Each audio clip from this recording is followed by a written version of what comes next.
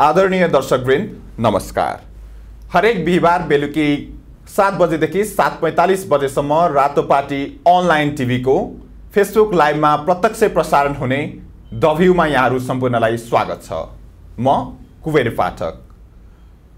हिजो बुधबारबाट आफ्नो एक्काइस वर्षे लामो यात्रालाई पुरा गरेर बाइस वर्षे यात्रामा सफलताका साथ सुरुवात गरेको बुद्ध एयरको विषयमा आज हामी मुख्यतः कुरा गर्दैछौँ।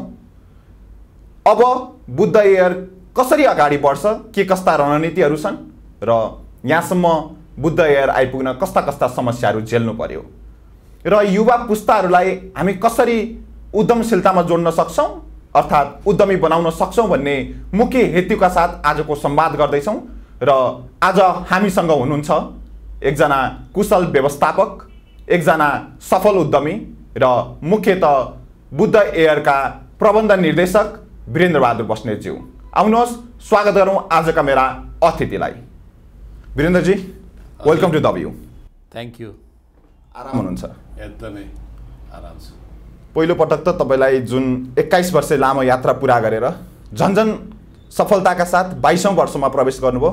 तपाईँले नेतृत्व गरिरहेको तपाईँ र तपाईँको टिमलाई हार्दिक हार्दिक बधाई र शुभकामना। धन्यवाद। अब मैले सुरुमै पनि भने हाम्रो आजको अन्तर्वार्ता मुख्यतः युवाहरूलाई उद्यमी कसरी बनाउने भन्ने विषयमा हामी केन्द्रित गर्छौँ। तपाईँ सानो उमेरदेखि आउँदै गर्दा त्यति बेला अहिलेभन्दा एक्काइस वर्ष अगाडि यो क्षेत्र रिक्स जोन नै थियो।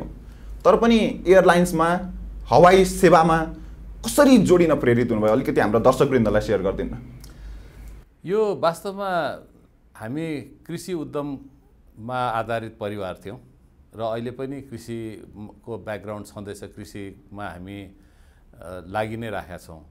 र आजभन्दा बाइस तेइस वर्ष अगाडि आर्थिक अवस्थालाई सुदृढ गर्नको लागि घरमा दह्रोसँग चुलो बाल्नको लागि मेरो बुवाको सोच चाहिँ नि उद्यम उद्यमशीलतामा जानुपर्छ उद्य उद्यममा जानुपर्छ उद्योगमा जानुपर्छ भन्ने भयो।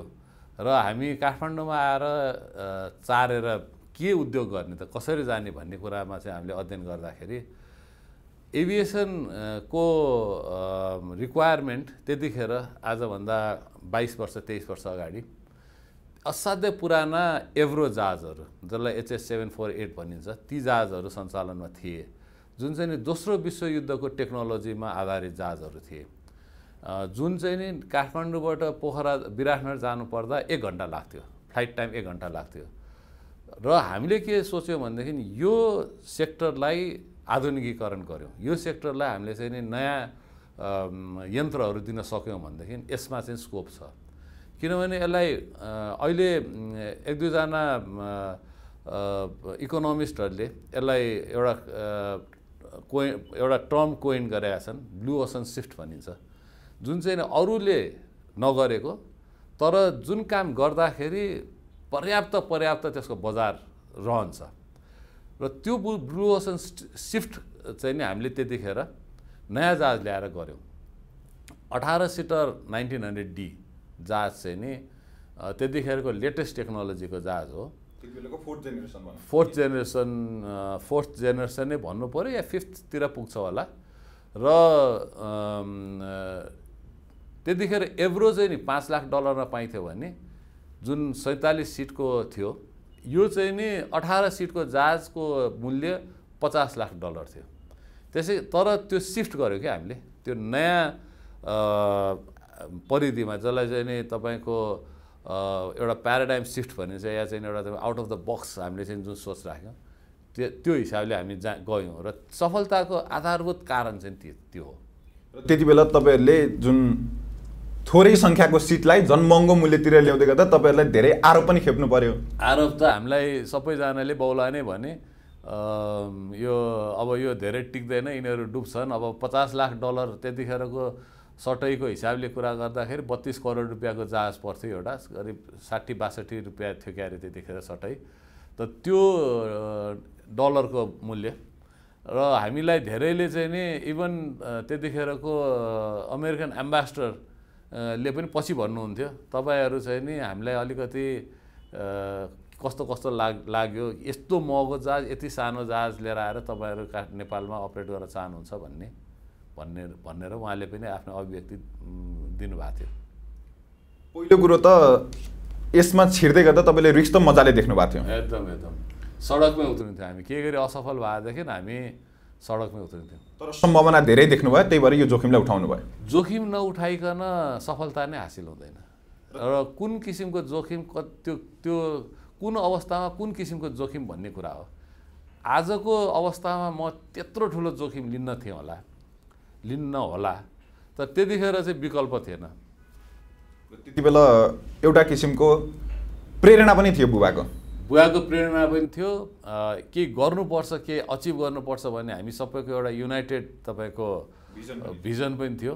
त्यसै कारण। त्यति बेला तपाईँले जुन साठी बैसठी करोड थियो त्यसमा नाइन्टी पर्सेन्ट चाहिँ लोनमा अनि टेन पर्सेन्ट चाहिँ इक्विटीमा सुरु गर्नुभयो बिजनेस होइन त्यो के थियो भने त्यो रेथेन एयरक्राफ्ट क्रेडिट कर- कर्पोरेसन भन्ने यो जुन company manufacture company Raytheon aircraft कम्पनीको सिस्टर अर्गनाइजेसन थियो। र त्यसले नाइन्टी पर्सेन्ट फाइनेन्स गर्ने जसलाई जहिले अहिले पनि यो टर्म छ त्यसलाई लिज फाइनेन्स भनिन्छ। केही गरी जहाज सञ्चालन हुन सकेन र डिफल्ट भयो भनेदेखि हामीले तिरेको पैसा सबै ढुस हुने उनीहरूले जहाज वापस लाने। र उनीहरूको अस्योरेन्स चाहिँ नि दस पर्सेन्ट उनीहरूलाई डिपोजिट दिने या दस पर्सेन्ट पेमेन्ट गर्ने। र बाँकीको चाहिँ हामीले लिज फाइनेन्स भनेपछि महिनै पछि त्यो साउ ब्याज तिर्दै जाने। र के गरी एकछिनको लागि मानिले एक वर्षपछि हामीले डिफल्ट गऱ्यौँ र उनीहरूले जहाज तान्नु पऱ्यो भने त्यो दस पर्सेन्ट पनि डुब्यो र एक वर्षसम्म तिरेको लिज जुन इन्स्टलमेन्ट पनि डुब्यो। त्यति बेला दुईवटा विमानबाट सुरु गर्नुभएको यात्रा अहिले कतिवटा विमान छन् तपाईँहरूसँग? अहिले हामी चाहिँ एघारवटा छन्। एघारवटा विमान छन्। र दुईवटा पाइलट र दुईवटा को पाइलटबाट सुरु गर्नुभएको यात्रा र थोरै केही इम्प्लोइ तिसजना बिसजनाको हाराहारीबाट सुरु गर्नुभएको इम्प्लोइ अहिले कतिजना पाइलट कतिजना को पाइलट र कतिजना इम्प्लोइ छन्? पाइलट चाहिँ नि मेरो विचारमा अब गर्नै पर्छ तर मेरो विचार सत्तरी पचहत्तरजना छन् पाइलट को पाइलट मिलाएर। इम्प्लोइ चाहिँ नौ सय त्रिपन्नजना छन्। र तपाईँले बारम्बार भन्नुभएको छ मेरो सबैभन्दा ठुला तागत भनेको मेरो ह्युमन रिसोर्सेसहरू हुन्। एकदम। मानव संसाधन चाहिँ नि बुद्धहरूको सबभन्दा ठुलो सम्पत्ति र सबभन्दा ठुलो ताकत हो। त्यो अवस्थाबाट यो अवस्थामा आइपुग्दै गर्दा ठ्याक्कै यो मेमोरीलाई एक्सप्लेन गर्दै गर्दा तपाईँले भन्न त भन्नुहुन्छ मलाई थाहा छ। किनकि यो मेमोरी मैले भने भने मलाई त्यति धेरै मजा आउँदैन नभन्नुको जति मजा छ भनेर तपाईँले अगाडि पनि भन्नुभएको रहेछ। तैपनि भनिदिनु एक्चुली समरीमा त्यो अवस्थाबाट यो अवस्थासम्म आइपुग्दै गर्दा अहिले कस्तो महसुस हुन्छ? अहिले तपाईँको आजको दिनमा बडो ठुलो तपाईँको रिस्पोन्सिबिलिटीको बोध भइरहेको छ बडो ठुलो तपाईँको एउटा अब यहाँबाट हामीले जुन सोच राखिरहेका छौँ किनभने नेपालको एभिएसनलाई एउटा आमूल परिवर्तन एउटा हिस्टोरिकल टर्न गर्ने भूमिका चाहिँ हामीले खेलेका छौँ। अरूले मानुन् नमानुन्। किनभनेदेखि एकदम सस्तो फेयर जब हामीले दस वर्ष अगाडि एटिआर लिएर आयौँ एटिआर भने त्यो ठुलो जहाज लिएर आयौँ त्यसपछि हामीले स्ट्रक्चर फेयरहरू इन्ट्रोड्युस नेपालमा पहिलोचोटि स्ट्रक्चर फेयर इन्ट्रोड्युस गऱ्यौँ। सस्तो फेयर महँगो फेयर महँगो फेयर चाहिँ ने नेपाल सरकारले क्यापिङ गरेको फेयरभन्दा माथि चाहिँ जान नपाइने। सस्तो चाहिँ हामी जति पनि सस्तो जान्छौँ। उनीहरूले चाहिँ लोवर बााउन्ड्री पनि क्याप गरेको छ तर त्योभन्दा पनि हामी सस्तो जान सक्छौँ। र त्यसले आजको दिनमा नेपालको तिस लाख नेपाली र विदेशी गरेर सुगम क्षेत्रमा तिस लाख यात्रुहरूको ओहोरदोहोर हुन्छ वर्षको। त्यो सुरुवात चाहिँ नि हामीले नै गरे हो किनभने सस्तो फेयरको इन्ट्रोडक्स इन्ट्रोड्युस गरेर। निकोनले पनि गरेन कि? निकोनसँग पनि त्यतिखेर पैँतालिस सिटर जहाज यही जहाजहरू उनीहरूसँग पनि थिए। तर हामीले लिएर आइसकेपछि हामीले ल्याएको त्यो पनि ब्लु ओसन सिफ्ट हो। त्यो अर्को ब्लु ब्लु ओसन सिफ्ट थियो। आजको भाडा कहिले कहिले विराटनगर पच्चिस सय रुपियाँमा पाइन्छ। कहिले धनगढी पैँतिस सय रुपियाँमा पाइन्छ। त्यो भाडा तपाईँको दस वर्ष पन्ध्र वर्ष अगाडि पनि त्यही भाडा थियो। जबकि डलर पन्ध्र वर्ष अगाडि साठी रुपियाँ थियो भने आज एक सय बिस रुपियाँ पुगेको छ। भनेपछि त्यो एउटा आन्दोलन नेपालको यो सिभिल एभिएसनमा यो आन्दोलन चाहिँ हामीले सुरु गरेका हौँ। र हामीले एउटा बडो संस्थागत अर्गनाइजेसन सिर्जना गरेका छौँ। अबको फड्को के त? अब हाम्रो लिगेसी के? हाम्रो कीर्ति के? हामीले छोडेर जाने विरासत के? यतिमै सीमित हो कि अब अब अब अन्तर्राष्ट्रियको परिकल्पना गरेर अगाडि बढ्ने? पैसाको लागि होइन किनभने सबै कुरा पैसाको लागि मात्र गरिँदैन। पैसा एउटा अवस्थासम्म आवश्यकता थियो। अब तपाईँको त्यो लिगेसीको आवश्यकता भयो हाम्रो लागि। भनेपछि बुद्धको जुन इमेज छ त्यो जोगाइराख्नु आफैमा चुनौती छ। एकदम ठुलो चुनौती छ। यहीँनिर एउटा मैले हेर्दै थिएँ। मैले तपाईँको बुद्ध इयरको जुन लोगोको कन्सेप्ट छ मैले हेर्दै जाँदा यो लोगोको कन्सेप्ट तपाईँ आफैमा आएको या कोहीबाट सजेसन लिनुभएको थियो? यो लोगोको कन्सेप्ट पनि बडो अद्भुत रहेछ। हो यो लोगो कन्सेप्ट हामीले बुद्ध एयर भन्ने बुद्ध एयर नाम नामाकरण गरेपछि बुद्धको शिरलाई दुईवटा पखेटा राखेर यसको हामीले लोगो बनायौँ त्यतिखेर। र यो यस यो यो भेन्चर सुरु गर्नको लागि ऋण खोज्दै जाँदा त्यतिखेर नेपाल ब्याङ्क अफ सिलोन भन्ने अहिले एनसिसी हो जुन ब्याङ्क अहिले नेपाल प्रेसिडेन्ट हो त्यो ब्याङ्क चाहिँ नेपाल ब्याङ्क अफ सिलोन को नामले सञ्चालित थियो र ब्याङ्क अफ सिलोन श्रीलङ्काको ब्याङ्क अफ सिलोन भने त्यहाँको सबभन्दा ठुलो ब्याङ्कको पन्ध्र पर्सेन्ट बिस पर्सेन्ट सेयर थियो। र त्यहाँको सिओ चाहिँ नि ज मिस्टर जयसूर्य उहाँको के अगाडिको नाम बिर्सेँ जयसूर्य भन्ने हुनुहुन्थ्यो। उहाँलाई मैले कार्ड दिएपछि उहाँले के भन्नुभयो भनेदेखि mister Basnet you see it is a very confidential thing म तपाईँलाई एउटा भन्न चाहन्छु। जुन कुरा चाहिँ नि अ, मैले भन्नै पर्छ। एज अ बुद्धिस्ट म बुद्धिस्ट भएको हैसियतले यो बुद्धको शिर तपाईँले यसरी कागजमा नराख्नुहोस्। किनभने यो कहीँ कहीँ न कहीँ त फालिन्छ। कहीँ वेस्ट पेपरमा जान्छ वेस्ट डस्टबिनमा जान्छ कहीँ कहाँ जान्छ। त्यसै कारण यो टेकिन्छ। र यो चाहिँ हाम्रो लागि भयङ्कर ठुलो पाप हो। यो हुनै सक्दैन। त्यस कारण यो लोगो चेन्ज गर्नुहोस्। किन? नाम त बुद्ध भन्ने नाम त एउटा सार्वजनिक नाम हो। बुद्ध त मान्छेको नाम पनि हुन्छ ठाउँको नाम पनि हुन्छ सबै ठाउँको कुरा हुन्छ। भनेपछि अनि हामीले त्यो लोगो चेन्ज गर्ने प्रक्रियामा एकदम फास्ट मुभ भइरहेको थियो काम। एउटा एउटा चाहिँ नि डिजाइनर कहाँ पठाइदिनु एउटा लोगो बनाएर दिनुहोस् भने उहाँले पहिलोचोटि नै यो जुन दुइटा परेवाको जुन इमेज बनाएर उहाँले दिनुभयो हामीले त्यसलाई स्वीकार गऱ्यौँ। अब त्यो चाहिँ नि अब एउटा इतिहास बनिएको छ। शान्तिसँगै जोड्न खोज्नु भएको थियो। एकदम जोडियो त्यो। र मैले केही रूपमा हेरेँ। तपाईँले हेर्दै गर्दा अहिले नौ सय करिब करिब हजारकै हारेरमा तपाईँहरूसँग स्टाफ हुनुहुन्छ इम्प्लोइ हुनुहुन्छ। त्यहाँ एकजना पनि साँच्चै विदेशी नभएको सत्य हो। हो। शत प्रतिशत नेपाली हो। हामी सबै नेपाली हौँ। यो अर्को विशेषता छ बुद्धको। विशेष विशेषता छ यो। अब अलिकति बालापनतिर लैजाउँ। जति बेला तपाईँ जन्मिनु भयो तपाईँको बुबा सुप्रिम कोर्टको जज हुनुहुन्थ्यो। हजुर। त्यस पछाडि बिस्तारै उहाँ नेपालमा जुन पहिलोचोटि चुनाव हुँदै थियो त्यति बेला त्यसको इलेक्सन अफिसरको रूपमा उहाँलाई निर्वाचन आयुक्त प्रमुखको रूपमा पनि। तोकियो। पहिलो निर्वाचन प्रमुख निर्वाचन आयुक्त। को रूपमा पनि तोकियो। त्यसरी बुबा अगाडि बढ्दै जानुभएको थियो तपाईँ बुढा नीलकण्ठमा तपाईँको स्कुल त्यस पछाडि तपाईँको प्लस टूहरू बिताउँदै आउनुभयो त्यस पछाडि मास्टर पनि ट्युबाट सक्नुभयो। यी सम्पूर्ण कुराले तपाईँलाई पहिल्यैदेखि म उद्यमी बन्छु भन्ने सोच थियो कि बिचमा कहीँ आएर जोडिनु भयो तपाईँ? उद्यमी बन्ने अवधारणा चाहिँ नि वास्तवमा जब हामीलाई अलिकति आर्थिक सङ्कट पर्न थाल्यो यो नाइन्टिन नाइन्टी फोर नाइन्टी फाइभतिर अब हामीहरूको बिहा पनि हुन थाल्यो। त्यसपछि अब कामकाज केही भएन जागिर खाने त्यति मेलो भएन कृषिले धान्न सकेन। त्यसपछि बुवाको निर्देशन र बुवाको चाहिँ नि भिजनको हिसाबले नै अब पैसा कमाउन चाहिँ उद्यमशीलतामै जानुपर्छ। पैसा कमाउनलाई फ्याक्ट्री व्यापार व्यापार बिजनेसै गर्नुपर्छ भन्ने अठोट भएपछि अनि हामीले खोज्न थाल्यो। हो त्यसै कारण उद्यमी बन्ने कुनै भिजन या कुनै तपाईँको सङ्कल्प पहिलेदेखि थिएन। बिचमा एउटा अवस्था यस्तो आयो जसले तपाईँलाई उद्यमी नभइकन नबनी अवस्था आयो। नभइकन नहुने अवस्था आयो। र भर्खरैको कुरा हिजो भर्खरैको कुरामा जोड्यौँ अब। अन्तर्राष्ट्रिय उस्ता अन्तर्राष्ट्रिय उडान उडानलाई मात्र तपाईँहरू पब्लिकको रूपमा लाने। र यसमा तपाईँले भन्नुभएको छ अलिकति मैले पनि बुझिनँ र आम दर्शकवृन्दलाई पनि यति बेला क्ल्यारिफाई गर्ने मौका उहाँहरूलाई बुझ्ने गरी भनिदिनु होला। तिस पर्सेन्ट तपाईँहरूको सेयरमा रहने। हाम्रो भने बुद्धहरूको। बुद्धहरूकोमा रहने। त्यसपछि तिस पर्सेन्ट रणनीतिक साझेदार। यो भन्नाले यो भन्नाले तपाईँको यस्तो खालको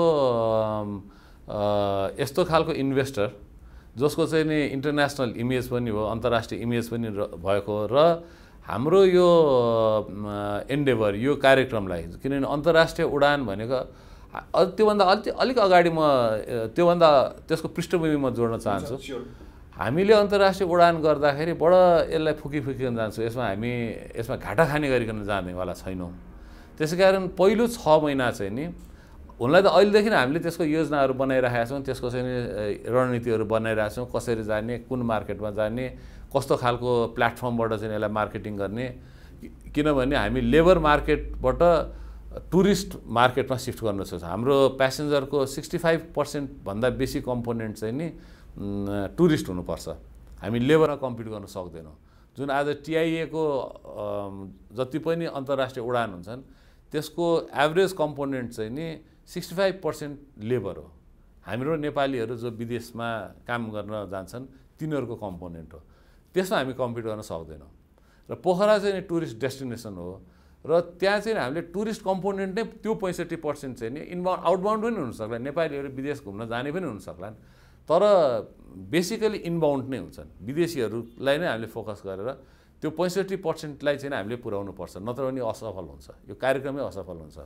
किनभनेदेखि हवाई सेवा भनेको असाध्यै जोखिमपूर्ण सेवा हो।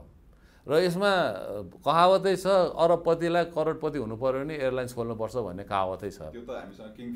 लगायतका उदाहरणहरू छन्। नेपालमै दसवटा हाम्रो यो एक्काइस वर्षको दरियानमा दसवटा एयरलाइन्स त डुबेको म तपाईँलाई गिन्ती गरेर बताउन सक्छु सम्झे अनुसार अब नसम्झाए पनि कति होला त्यसै कारण यसमा फुकी फुकिकन नै जानुपर्छ र अन्तर्राष्ट्रिय अपरेसन भनेको अझ जोखिमपूर्ण हो झनै डर लाग्दो हो। तर एउटा स्ट्राटेजीका साथ एउटा सोच एउटा परिकल्पनाका साथ हामी अगाडि बढिरहेका छौँ र त्यो परिकल्पनालाई छ महिना हामी टेस्ट गर्न आफ्नो जोखिममा बुद्धहरूको जोखिममा दुईवटा जहाज राखेर हामी चाहिँ त्यसलाई टेस्ट गर्ने सोचमा छौँ। त्यो त्यो चाहिँ नि पोखराबाट काठमाडौँबाट हामी गर्ने पक्षमै छैन किन काठमाडौँ दुई हजार एक्काइससम्म पोखरा कम्प्लिट हुने जानकारी आएको छ। र हामी त्यो सँगसँगै मुख्यत भारतको विविध ठाउँहरू र त्यसपछि चाइनासम्मलाई हामी जोड्ने प्रयत्न गर्नेछौँ। हाम्रो हाम्रो यो जहाजको अहिले जुन हामीले अध्ययन गरेको अनुसार चाहिँ नि यो तपाईँको इस्तानबुल कोरिया जापान पनि जान सक्छ पोखराबाट। तर फर्स्ट फेजमा पहिलो फेजमा चाहिँ नि हामी भारत र चाइना। किनभने यो छोटो डिस्टेन्स भयो र त्यहाँ त्यहाँ प्रशस्त टुरिस्ट छन्। नेपाल आउने मेजर कम्पोनेन्ट टुरिस्टको कम्पोनेन्ट चाहिँ भारत अनि चाइना हो। र नेपालीहरू पनि मुभमेन्ट हुने ठाउँ हो। त्यसै कारण यो दुइटा देशलाई हामीले र सजिलो पनि हो किनभने हामी त दुइटा देशको एकदमै तपाईँको बहुमूल्य छिमेकी भए हुनाले उनीहरूको दायित्व पनि रहन्छ हाम्रो आर्थिक उन्नतिमा उनीहरूले साथ दिनको लागि। अर्को भनेको पशुपतिनाथ रहनु र बुद्ध जन्मेको भूमि लुम्बिनी रहनु पनि चाइना र भारतलाई धार्मिक पर्यटनको हिसाबले पनि मजबुत छ। त्यो पनि हो र पोखरा इट्सेल्फ पोखरा नै उनीहरूको लागि ठुलो अट्र्याक्सन पनि हो। त्यसै कारण छ महिना हामीले टेस्ट गरिसकेपछि यदि असफल हो भनेदेखि छ महिना आठ महिना हामी बन्द गर्छौँ र एयरलाइन्स फर्काउँ एयर त्यो जहाज दुईवटा जहाज फर्काउँछौँ। यदि सफल भयो भनेदेखि त स्काई इज द लिमिट त्यसपछि तपाईँको कतिवटा जहाजको रिक्वायरमेन्ट भन्ने कुरा मैले अहिले तपाईँलाई बसेर भन्न सक्दिनँ। पोखरामा हामी चौधवटा जहाजको कुरा गर्दैछौँ पोखराबाट। पोखरामा त न्यारो बडी मात्र जुन सानो बडी हो तर काठमाडौँबाट त वाइड बडी पनि हुन्छ नि। त्यसै कारण तपाईँको यो छ महिना क्रिटिकल हुन्छ। यो छ महिनामा हामी कसैलाई पनि यसमा तपाईँको लगानी गर्न गर्दैनौँ। किनभनेदेखि के गरी डुब्यो भनेदेखि त अरूको पैसा डुब्यो नि त। के गरी सफल भयो त सफल भयो। तर सफल भइसकेपछि चाहिँ नि यसको जुन स्कोप छ यो हामीले प्राइभेट कम्पनीमा लिमिट गर्नै सक्दैनौँ। हामीले धान्नै सक्दैनौँ। त्यसै कारण यसलाई पब्लिक लिमिट लानुपर्छ र यो सहकार्य र तपाईँको पार्टिसिपेटिभली लानुपर्छ भन्ने किसिमले यसलाई पब्लिक कम्पनीमा लानुपर्छ भन्ने। अलिकति क्ल्यारिफाई गरिदिनु यसको संरचना कस्तो रहन्छ? तपाईँले तिस प्रतिशत रणनीतिक साझेदार भन्नुभयो तिस प्रतिशत बुद्ध एयर भयो चालिस प्रतिशत हवाई क्षेत्रमा आउन चाहनेला भन्नुभयो तिस प्रतिशत चाहिँ रणनीतिक साझेदार भने यो कार्यक्रमलाई सपोर्ट गर्ने कसले गर्न सक्छ होइन? त्यो त्यो इन्भेस्टर त्यो किसिमको त्यो स्ट्रेन्थ भएको इन्भेस्टर चाहियो। बाहिरबाट? मोस्ट प्रोली विदेशी हुन्छ होला। तिस प्रतिशत चाहिँ पब्लिक लिमिटेड हो पब्लिकमा जाने हो। र हाम्रो सोच चाहिँ नि बाँकी रहेको दस प्रतिशत चाहिँ नि नेपालका प्रतिष्ठित उद्यमीलाई छानेर हामीले चाहिँ नि लिएर आउने हो। त्यसको संरचना चाहिँ कस्तो रहला? संरचना thirty thirty ten thirty ten चाहिँ अरू उद्यमीहरू रहनुभयो जो नेपालबाटै सफल रहनुहुन्छ। अहिले तपाईँले भर्खरै भर्खरै भनौँ भारतको बनारसमा सुरु गर्नुभयो। यो भारतको बनारसमा सुरु गरिरहेको चाहिँ कतिको सफल भइरहेछ त? यसले पनि त केही इन्डिकेट त गरिरहेको त्यो हाम्रो तपाईँको त्यो चाहिँ नै हाम्रो ट्रायल हो। भारतको बनारसको अपरेसन सफल भएको छ। र जुन तपाईँको मार्केटिङ स्ट्राटेजीहरू हामीले त्यहाँ अप्नाइरहेका छौँ त्यो चाहिँ सफल भइरहेको छ। र त्यसलाई नै हामीले रेप्लिकेट गर्ने त्यसलाई नै हामीले बढाउँदै जाने हो र केही समय अगाडि नेपालगञ्जबाट दिल्ली उडानको कुरा पनि भइरहेको थियो। तपाईँले निकै पहल पनि गरिराख्नु भएको थियो। यसमा भारतको पोजिटिभ रेस्पोन्स आइरहेको छैन भनिन्छ कि यो सत्य हामीलाई भारत यो इन्दिरा गान्धी इन्टरनेसनल एयरपोर्टको म्यानेजमेन्टले स्लट छैन भनेर हामीलाई इन्फर्मेसन गर्यो। र त्यो त्यो स्लट छैन र तपाईँहरूलाई हामीले त्यहाँनिर उडाउन दिन सक्दैनौँ भनेको हुनाले हामीले हामी हामीले त्यसमा चाहिँ नि त्यति त्यति घचघचाउने प्रयास पनि गरेका छैनौँ। किनभने दियो भने अपरेट गर्ने हो नदियो भनेदेखि हाम्रो अर्जुन दृष्टि पोखरा हो। मुख्य चाहिँ पोखरालाई अहिले हेरिराख्नु भएको छ। एकदम एकदम। त्यो अर्जुन त्यो फोकस त्यो तपाईँको त्यो किसिमको गहिराइमा डुबेर चाहिँ हामीले चाहिँ नि त्यो मोती टिप्ने कोस प्र- प्रयत्न नगऱ्यो भनेदेखि सफल हुँदैन। त्यसै कारण त्यो कोर फोकस चाहिन्छ। भनेपछि योभन्दा अगाडि बाइस वर्ष जे गर्नुभएको थियो फेरि अर्को बाइस वर्ष पछाडि एउटा त्यस्तै अपर्च्युनिटी 22 आएको महसुस गर्नुभएको छ। अँ आएको छ आएको छ। बाइस आजको दिनमा आएको छ त्यो। अपर्च्युनिटी भन्दा पनि त्यो एउटा च्यालेन्ज भनौँ त्यो एउटा चाहिँ नि तपाईँको एउटा लिगेसी छोड्ने एउटा चाहिँ नि तपाईँको एउटा त्यसलाई कीर्ति भन्दा पनि विरासत छोड्ने। मैले चाहिँ हामीले बुद्धहरूले यो गऱ्यौँ र मेरो नेतृत्वमा यो भयो। त्यो पैसाको लागि मात्र पनि होइन। घाटा खाएर चाहिँ हामी गर्दैनौँ। तर पैसा कमाउने हेतुले मात्र चाहिँ नि जुन एक्काइस बाइस वर्ष अगाडि चाहिँ पैसा कमाउनको लागि चाहिँ नि यो यो संस्था खोलिएको थियो। अन्तर्राष्ट्रिय उडान चाहिँ त्यो मनस्थितिबाट चाहिँ गरायो भने त्यो हेतुले गराएको चाहिँ होइन। त्यसले यसले हाम्रो यसले जुन इम्प्याक्ट दिन्छ यसले जुन तपाईँको ब्रोडर इम्प्याक्ट दिन्छ यसले बिसौँ लाख पर्यटक त्यहाँ भित्र आउँछ। त्यो बिस लाख पर्यटक बिसौँ लाख पर्यटक भित्रिँदाखेरि नेपालको आर्थिक तपाईँको इन्डिकेटर्सलाई के इम्प्याक्ट पार्छ? मैले भनिहालेँ एउटा एउटा बिस लाख पर्यटक भित्राउँदाखेरि कमसेकम पाँच छ लाख नेपालीले त्यहाँ रोजगारी पाउँछन्। भनेपछि पच्चिस तिस लाख पपुलेसनलाई कतिवटा अन्डा चाहिन्छ कति दुध चाहिन्छ कति चामल चाहिन्छ कति फलफुल चाहिन्छ त्यो स्वदेशमै उत्पादन हुन सक्यो भनेदेखि त्यसको मल्टिप्लायर इम्प्याक्ट र जुन चाहिँ नि तपाईँको अहिलेको सबभन्दा ठुलो संसारको सबभन्दा भयावह अवस्था के छ भने डिस डिस्प्यारिटी। आर्थिक हिसाबले असन्तुलित मान्छेहरूको सम्पत्ति जुन बाँडफाँड भइरहेको छ पोइन्ट वान पर्सेन्टले तपाईँको संसारको करिब करिब चालिस पर्सेन्ट सम्पत्ति छ भनेदेखि एक पर्सेन्टसँग अस्सी प्रतिशत छ यसरी भनौँ हिजो धनी र गरिब बिचको ग्याप बढ्दैछ त्यो स्क्याटर भइरहेको छ झन् झन् झन्झन भइरहेको छ र टुरिज्म इन्डस्ट्री मात्र एउटा यस्तो इन्डस्ट्री हो जसले चाहिँ नि त्यो। इक्विटेबल वेल्थ क्रिएसन भन्ने छ जुन चाहिँ नि समानुपातिक सम्पत्ति सृजना गर्ने प्लेटफर्म चाहिँ नि टुरिज्म हो। र तपाईँ यसैको जगमा बसेर भनिराख्नु भएको छ म टुरिज्मको सेक्टरलाई रिडिफाइन गर्छु। हामी बुद्ध एयरहरू रिडिफाइन गर्न लाग्छ भनेर भनिराख्नु भएको छ। लाग्ने। प्रयास गरिरहेको छ। अब गर्न सक्छ सक्दैन त्यो चाहिँ हेर्दै जानुपर्छ। तर त्यसमा दत्त चित्त भएर त्यसमा कोर फोकसका साथ हामी गइरहेका छौँ। हाम्रो तपाईँको कन्ट्रिब्युसन या हाम्रो चाहिँ क्याटलिजम चाहिँ के हो? हाम्रो हामी एज अ क्याटलिस्ट के गर्छौँ भनेदेखि त्यो उडान चाहिँ हामी त्यहाँ सञ्चालन गर्छौँ। त्यो टुरिस्ट ल्याउने चाहिँ हामी मार्केटिङ गर्छौँ। र त्यसपछि तपाईँको त्यहाँको त्यहाँ त्यहाँ हामी सहकार्य पनि गर्दैछौँ। हामी पोखरामा इन्टरेक्ट पनि गरिरहेका छौँ। किनभने होटेल कसरी बन्नुपर्छ त्यहाँको त्यहाँको बाटोहरू कसरी बन्नुपर्छ त्यहाँ सेनिटेसन कस्तो हुनुपर्छ ती सबै कुराहरू चाहिन्छ त्यहाँ। त्यस कारण यो एकदम ह्युज तपाईँको कार्यक्रमको रूपमा हामीले हेरिरहेका छौँ। पैसा कमाउने एकदम निहित हेतु चाहिँ होइन। मुख्य कुरा भनेको नेपाललाई पर्यटकीय जगतमा जुन चिनिएको छ त्यसको ट्रेन्डलाई परिवर्तन गर्न गर्ने र। हामीले आफ्नो लिगेसी छोड्नु पऱ्यो किनभने जन्मी जन्मिएपछि एक न एक दिन त मरिन्छ मरिन्छ। त के कारणले सम्झिने त? म एज अ पर्सनलाई के कारणले सम्झिने? मेरो त लिगेसी हुनु पऱ्यो नि। म एउटा जुन पोजिसनमा छु त्यो पोजिसनमा बसेको व्यक्तिको मरिसकेपछि दुई दिन भन्छौँ नि त हामी। केही छाप छोडिनु पर्यो त्यो लिगेसी चाहिन्छ। र तपाईँले भन्नु पनि भएको छ। मेरो सृजनशीलतामा देखिने नेतृत्व भनेको मैले बुद्धलाई लान सक्ने भनेको अन्तर्राष्ट्रिय क्षेत्रसम्म हो र अन्तर्राष्ट्रिय उडानसम्म लग्यो भने मेरो सृजनशीलता त्यहाँनिर गएर म टुङ्ग्याउन चाहन्छु भनेर तपाईँले बारम्बार भन्नु पनि भएको छ। हजुर। र त्यसको निम्ति अहिले अथक प्रयासमा हुनुहुन्छ। हजुर। र अलिकति अब एक दुईवटा आरोपको कुरा गरौँ। यहाँ एक दुईवटा बजारमा यति धेरै आरोपहरू छन् कि तपाईँहरू विदेशीहरूबाट चाहिँ धेरै पैसा लिनुहुन्छ। अझ ठ्याक्कै उनीहरूको भाषामा भन्यो भने त असुल्नुहुन्छ भनिन्छ। ठ्याक्कै यो कस्तो? सही कुरा हो। किनभने त्यो त्यो तपाईँको विदेशीले तिरिरहेका छन् उनीहरूको कम्प्लेन छैन। त्यो कारणले हामीले स्वदेशीलाई पानीको मूल्यमा उडाउन पाइरहेका छौँ जस्तै आज पोखराकै कुरा गर्नुहोस्। आज हामी आजको दिनमा एघारवटा फ्लाइट छ पोखरा। विदेशीसँग हामीहरूको सय डलर होला या कति छ थाहा छैन सय डलरको हाराहारी होला। सय डलरको सय डलर भने आज बाह्र हजार रुपियाँ भयो। तर नेपालीले त तपाईँको दुई हजारमा चढिरहेका छन् आजको दिनमा। भनेपछि त्यो क्रस सब्सिडी भएको हुनाले नेपालीले यति सस्तो फेयर पाएको हो। नत्र भनेदेखि ल विदेशी र नेपालीलाई एउटै फेयर हो भनेदेखि नेपालीले पनि पाँच हजार तिर्नु पर्थ्यो। कहाँ सञ्चालन हुन सक्छ? अझ बढी पर्न सक्छ या किनकि बढ्न सक्थ्यो। त्यसै कारण यो यसको लागि मलाई मलाई यस विषयमा जुन दिन पिस अकोर्ड साइन भइरहेको थियो नि हाम्रो हाम्रो गिर्जाबाउ अ, प्रचण्ड कामरेडहरू है त्यो दिन मलाई चाहिँ नि ड्यानिस एम्बेसडरले बोलाए।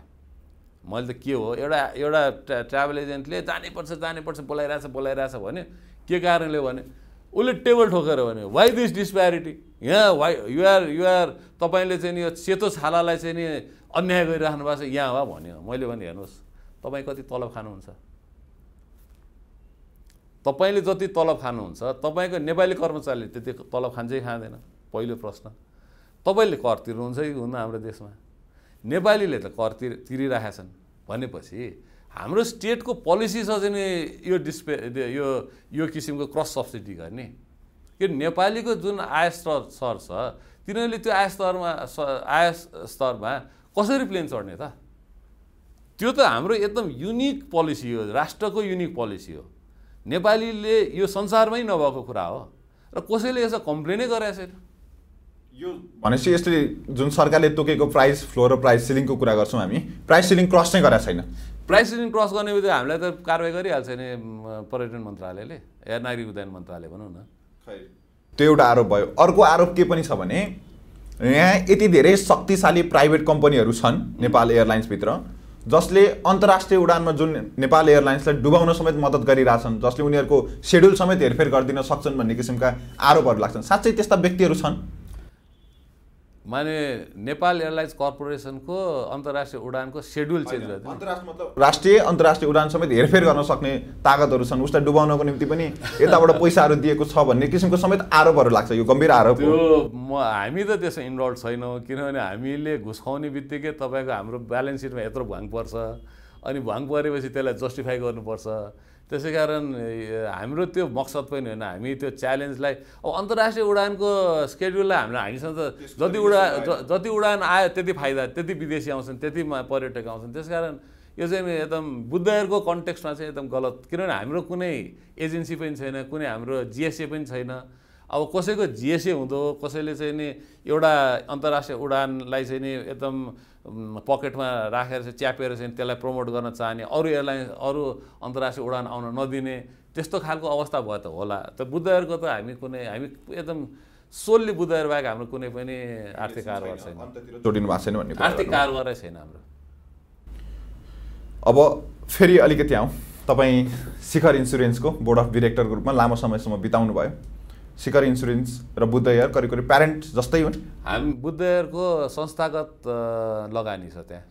हाम्रो करिब एघार पर्सेन्ट सेयर छ बुद्धहरूको र शिखर इन्सुरेन्समा बिओडीमा रहँदा रहँदै बोर्ड अफ डिरेक्टरमा रहँदा रहँदै एक्कासी राजीनामा गर्नुभयो।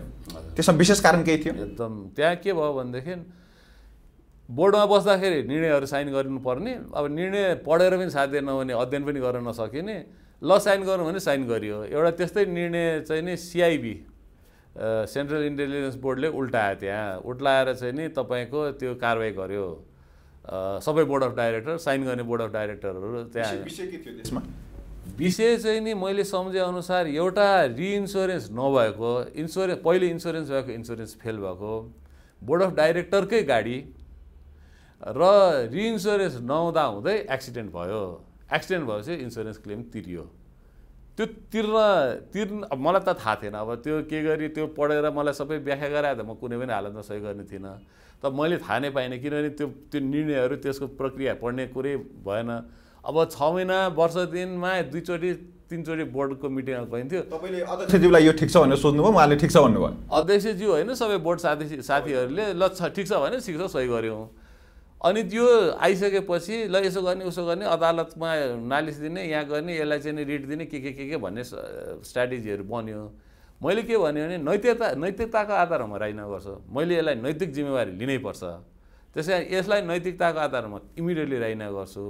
र अब आइन्दा फोकस भएर काम गर्न सक्ने ठाउँमा समय दिएर चाहिँ अध्ययन गर्न सक्ने ठाउँमा बाहेक कुनै पनि पदमा चाहिँ म बस्दिनँ। ठिक छ। एउटा भयो। मसँग तपाईँलाई चारजना व्यक्तिहरूको नाम छ। आजको जुन व्यक्तित्वको रूपमा तपाईँ यहाँ उभिनु भएको छ र अबको विषय हाम्रो चर्चा गर्छौँ हामी अहिले यो उमेरमा आएर पनि तपाईँ कृषि इनिसिएटिभमा लाग्न लागिरहनु भएको छ किनकि नेपालको सम्भावना त्यसमा देख्नु भएको छ। समयको करिब करिब आज त्रिपन्न वर्षको हुनुभएको छ। चौवन्न। चौन्न वर्ष पुगिसक्नु भएको छ। चौन्न वर्षको उत्तरार्धमा आइपुग्दै गर्दा अझै सक्रियताका साथ कृषिबाट नेपाललाई अगाडि बढाउन सकिन्छ भन्ने जुन एउटा जोस छ जुन एउटा प्रेरणा जुन एउटा जाँगर तपाईँमा छ यो हकमा पुर्याउनको निम्ति म तपाईँलाई चारजना व्यक्तिको नाम भन्छु। सबभन्दा बढी भूमिका कसले खेलेको छ उहाँलाई ऱ्याङ्किङ गर्नु होला। पहिलो सुरेन्द्रबहादुर बस्नेत। दोस्रो शिवेन्द्रबहादुर बस्नेत। तेस्रो सुनिता सिजापति बस्नेत र चौथो आस्था बस्नेत। पहिलो त मेरो बुवा नै हो किनभने मेरो बुवा सुरेन्द्रबहादुर बस्नेत किनभने उहाँ मेरो बुवा मात्र होइन उहाँ मेरो गुरु पनि हो। र उहाँको संरक्षण सम्वर्धन र उहाँको चाहिँ नि एउटा नर्चर उहाँले जुन किसिमले मलाई हुर्काइ हुर्काइबक्स्यो त्यो कारणले गर्दा म आज यो अवस्थामा छु। त्यसै कारण त्यो त्यो त्यो अकाट्य हो। त्यसो मेरो श्रीमती किनभनेदेखि ऊ मेरो अर्धाङ्गिनी अर्धाङ्गी म उसको अर्धाङ्ग अर्धाङ्गिनी ऊ मेरो अर्धाङ्गिनी। ऊ नभएको भएदेखि म आज यो सफलता यो किसिमको ब्लिसफुलनेस यो किसिमको एउटा पिस अफ माइन्ड र एउटा किसिमको तपाईँको यो अवस्थामा म हुने थिइनँ। र त्यो त्यो भ यसको मतलब उसँग झगडै हुने भन्ने होइन झगडा त डेफिनेटली हुन्छ तर त्यो एउटा एउटा अलौकिक रिलेसनसिप यो तपाईँको जन्म जन्मान्तरसम्मको रिलेसनसिप जुन हाम्रो रह्यो सायद पूर्व जन्मदेखि नै थियो होला। त्यो डेफिनेटली त्यो एकदम क्रिटिकल नै हो। र आस्था मात्र होइन मेरा दुईवटा छोरी छन् आर्जु बस्नेत र आस्था बस्नेत। यिनीहरू पनि प्रेरणाका स्रोत हुन् किनभने यिनीहरू लिगेसी हुन्। यिनीहरू यिनीहरू चाहिँ नि यिनीहरू मेरो लिगेसीलाई लान सक्छन् होलान्। अर्को स्टेजमा अर्को जेनेरेसनमा लान सक्ने उनीहरू नै हुन्। किनभनेदेखि ह्युमन सिभिलाइजेसन चाहिँ नि आफ्नो लिगेसी आफ्नो तपाईँको चाहिँ नि आफ्नो रीतिथिति परम्परालाई अर्को जेनेरेसनमा लान लानको लागि यो परिवारबाट आफ्नो सन्ततिबाट चाहिँ नि उत्प्रेरित हुन्छन्। अपेक्षा पनि रहन्छ। त्यसै कारण मेरा दुईवटा छोरीहरू चाहिँ नि मेरो सबभन्दा ठुलो अमानत हुन्। मेरो मात्र होइन मेरा श्रीमती र मेरो। आफूलाई समस्या थप्नुभयो यहाँ आस्था बस्नेत र आर्जु बस्नेत भन्नुभयो। अब उहाँलाई पनि ऱ्याङ्किङ गर्नुपर्छ तपाईँले। तेस्रोमा को चौथोमा को? मेरो विचारमा आर्जु अनि आस्था। आर्जु मेरो जेठी छोरी त्यसपछि आस्था। हुनुहुन्छ। र अन्तिममा? शिवेन्द्र त भाइ हो मेरो भाइ भएको नाताले ऊ त भइ नै हाल्छ भनेपछि नम्बर वान सुरेन्द्र बहादुर बस्नेत जो बुबा हुनुहुन्छ। त्यस पछाडि सुनिता सीतापति बस्नेत जो धर्मपत्नी हुनुहुन्छ। त्यसपछि आर्जु बस्नेत ज्येष्ठी सुपुत्र हुनु सुपुत्री हुनुहुन्छ। त्यस पछाडि आस्था बस्नेत र शिवेन्द्र बहादुर बस्नेत। अब आउँ अहिले मैले कुरा गरेँ। यो त्रिपन्न वर्षको उमेरमा चौवन्न। चौन्न वर्षको उमेरमा मैले त्रिपन्नै ख्याल गरिरहेको छु। के त्यस्तो आइपर्यो जस्तै तपाईँलाई कृषि इनिटिएसमा फेरि कृषिको प्रोत्साहनमा लाग्नुपर्छ कृषिलाई चाहिँ बजारीकरणमा लाग्नुपर्छ र कृषिलाई फेरि यान्त्रिकीकरणमा लाग्नुपर्छ भन्ने किसिमको प्रेरणा दिलायो। कृषि मेरो प्यासन हो किनभने हामीले हाम मेरो जिन्दगीको कर्म कर्म क्षेत्र कर्मभूमि कर्म चाहिँ नि कृषिबाट सुरु भयो। आफ्नो जीवनको बाल्यकालको बाल्यकाल होइन म बिस वर्ष बिताउनु भयो मैले त्यहाँ बाइस तेइस वर्षमा मेरो फार्म अहिले पनि छ। मोरङमा। मोरङमा। मोरङ अहिले बेलबारी बेलबारी नगरपालिकामा। त्यहाँ मैले मेरो मेरो प्रोफेसनल लाइफ मेरो कर्म क्षेत्र चाहिँ नि त्यहाँबाट सुरु भयो। र त्यो प्यासन जहिले पनि रहिराख्यो र त्यहाँ अहिले पनि खेतीपाती हुन्छ गइराखिन्छ। र त्यहाँ यो खा यो अहिलेको जमिनको एकदमै तपाईँको खण्डीकरण र कृषिको कृषिको लेबर कृषिको चाहिँ मजदुरी कमी भएको हुनाले त्यसको विकल्प के हुनसक्छ भन्दाखेरि यो यान्त्रिकरण हो भन्ने किसिमले हामीले त्यसमा लिएर गएका हौँ। र त्यसको त्यसको सम्भाव्यता छ। किनभनेदेखि आजको दिनमा करिब करिब आठ खरब रुपियाँको हामी खाद्यान्न इम्पोर्ट गर्छौँ। इम्पोर्ट गर्छौँ। र यो आठ खरबमा तपाईँको बेसिक आधारभूत खाद खाद्यान्नहरू र जुन रेप्लिकेट जसलाई चाहिँ रिप्लेस गर्न सकिन्छ त्यो मेरो विचारमा एउटा थम रुलको हिसाबले सात अरब साढे छ खरब होला। चामल दाल तरकारी यो तपाईँको तेल त्यसपछि मासु त्यो यी सबै जुन हामीले यहीँ विस्थापित गर्न सक्छौँ यहीँ प्रतिस्थापन गर्न सक्छौँ। र त्यो एउटा राष्ट्रको समुन्नति इमिडिएट एकदम तपाईँको अल्पकालीन राष्ट्रिय आर्थिक उन्नतिको लागि। यो यो तपाईँको प्याराडाइम यो यो कायाँ पल्टिनको लागि कृषि क्षेत्रमा फोकस हुनैपर्छ। र त्यहाँका जुन आधारभूत समस्याहरू छन् जमिनको खण्डीकरणलाई कसरी लिएर जान पुलिङ गर्ने या त्यसलाई कम्युन बनाउने हुँदै मिल्दैन। किनभने त्यो जमिनको जो स्वामित्व छ तिनीहरूको त्यही मात्र पुँजी हो त्यही मात्र सम्पत्ति हो। त्यहाँ गएर ल यसलाई चाहिँ यसो गर्ने उसो गर्ने त भन्न मिल्दैन उनीहरूलाई साथ लिएर उनीहरूको विश्वासमा प्रडक्टिभिटी कसरी बढाउने? जमिनको भाउ त छँदैछ जस्तै आजको दिनमा मेरो गाविस मेरो नगरपालिकामा बिघाको पाँच करोड रुपियाँ छ। त पाँच करोड रुपियाँको जुन डिम्ड भ्याल्यु छ जुन चाहिँ नि तपाईँको मूल्य लागेको छ त्यो मूल्य लागेको स्वामीलाई जसको सम्पत्ति नै त्यति छ ल यसलाई चाहिँ यसो गर्ने यसो गर्ने यसलाई पुल गर्ने यसलाई चाहिँ कन्ट्र्याक्ट गर्ने त कहाँ मान्छ र? त्यहाँ त रक्तपात हुन्छ। त्यो त्यो स्वामित्वलाई पनि तपाईँको चाहिँ इन्भल्भ गराएर त्यो ओनरसिपलाई पनि इन्भल्भ गराएर कसरी क्रान्ति गर्न सक्छ कसरी उत्पादकत्व बढाउन सकिन्छ कुन उत्पादक उत्पादन हो? जस्तै हामी अहिले धान र मकैमा फोकस छौँ। मोटो धान किन उत्पादन गर्ने? मसिनो जुन तपाईँको जिरा मसिनो भनिन्छ नि जुन मिडियम फाइन जो सबै अधिकांश नेपाली अहिले जुन धान खान्छ चामल खान्छ त्यो उत्पादन किन नगर्ने? किनभने सबै मोटो धान भारत एक्सपोर्ट हुने अनअफिसियली र मसिनो धान चाहिँ अफिसियली इम्पोर्ट हुने। भनेपछि हाम्रो पैसा त दोहोरो किसिमले त्यहाँनिर हाम्रो रियल मनी हाम्रो तपाईँको चाहिँ नि डलर त दुई किसिमले ट्रान्सफर भयो। त्यस कारण यो चाहिँ नि हामीले सानो सानो तपाईँको परिवर्तनहरू सानो ट्विचिङ गरेर चाहिँ यस यसमा एउटा आमूल परिवर्तन ल्याउन सक्छौँ। र गर्न सकिन्छ भन्ने कुरा हामीले त्यहाँ देखाइसक्यौँ जस्तै हामीले अहिले जुन तपाईँको सिस्टमहरू क्रिएट गऱ्यौँ जुन तपाईँको त्यहाँनिर व्यवस्थाहरू गऱ्यौँ नौ टन हेक्टरको धान फलिरहेको छ यो जिरा मसिनो डेढ सय मन एक सय पचास मन भने एक मन भने चालिस किलो हुन्छ। दुई सय मन मकै फलिरहेको छ र त्यो सबै यन्त्रले गर्छ। अब त्यसलाई चाहिँ नि तपाईँको एउटा यो जुन जिग्ज जस्तो हामीले पिसमिल पिसमिलको चाहिँ सफलता सृजना गरेका छौँ त्यसलाई एक ठाउँमा जोडेर ल यसो हो भनेर भन्यो भनेदेखि त अहिले हाम्रो एक नम्बर प्रदेशको मुख्यमन्त्रीज्यू अ, शेरधन राईज्यू उहाँ अब गाउँले पनि हुनुहुन्छ हामी भोजपुरै हौँ। उहाँसँग इन्टरेक्सन भएर उहाँसँग हामी कुरा गर्दैछौँ र किनभने प्रदेशको संरचनाको सबभन्दा ठुलो बल भने यो हो। सेन्टरको नेताले त्यहाँ दृष्टि पुर्याउन सक्छ सक्दैन। तर शेरधनजीको त इन्ट्रेस्टको कुरा भयो उहाँको सफलता र असफलता त एक नम्बर प्रदेशमा के डेलिभरी गर्नुहुन्छ त्यसमा भर पऱ्यो नि त। त उहाँलाई मैले के भने भनेदेखि ल यो क्षेत्रमा अहिले प्रधानमन्त्री कृषि कार्यक्रम भन्छ पचास बिघा यो कार्यक्रम भन्छ बिस बिघा त्यो होइन। पन्ध्र बिस हजार बिघाको क्याचमेन्ट चाहियो। र नेक्स्ट इयर असाढमा हामी जब धान रोप्छौँ त्यो धान चाहिँ नि हामीले भनेको जस्तो गरेर धान रोपौँ यो विकासी धान रोपौँ यो हाइब्रिड धान रोपौँ। जुन चाहिँ नि डेढ सय मन धान फल्छ नौ टन हेक्टरको छ टन बिघाको धान फल्छ त्यो धान चाहिँ नि पाँच सय बिघामा चाहिँ लगाएर हेरौँ। चार महिनामा हार्भेस्ट गर्दा त्यहाँ डेढ सय मन फल्यो भने त्यो त सफल भइहाल्यो नि। कार्यक्रमै सफल भयो। त्यसपछि मिलिङसम्म जाउँ।